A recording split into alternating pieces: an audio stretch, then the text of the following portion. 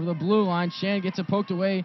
Robillard lifts the stick, are not allowing them to break out of the zone. Across for Seamer and front for Sicard, and they score! Dennis Sicard on the power play with the tip in front, and the Mayhem take advantage of the man advantage